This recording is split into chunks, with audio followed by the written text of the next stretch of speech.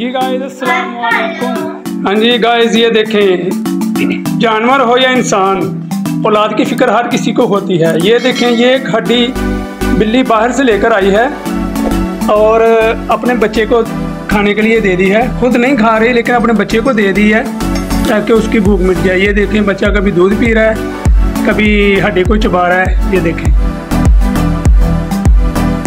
और गाइस जो दोस्त हमारे चैनल पर नए हैं, वो हमारे चैनल को सब्सक्राइब करें, हमारी वीडियो अच्छी लगे, हमारी वीडियो को लाइक करें और दोस्तों तक शेयर करें, ताकि हमारी हर नई आने वाली वीडियो सबसे पहले आप तक पहुँच सके।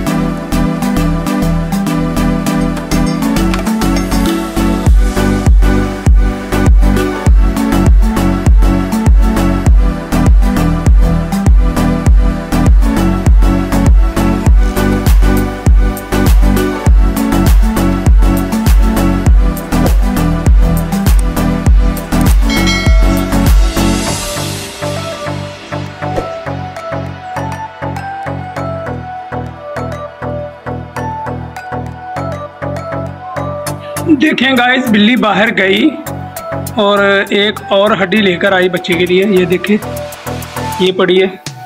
पहले वाली तो खा चुके थे और ये एक और लेके आई है बच्चे के लिए, ये देखें।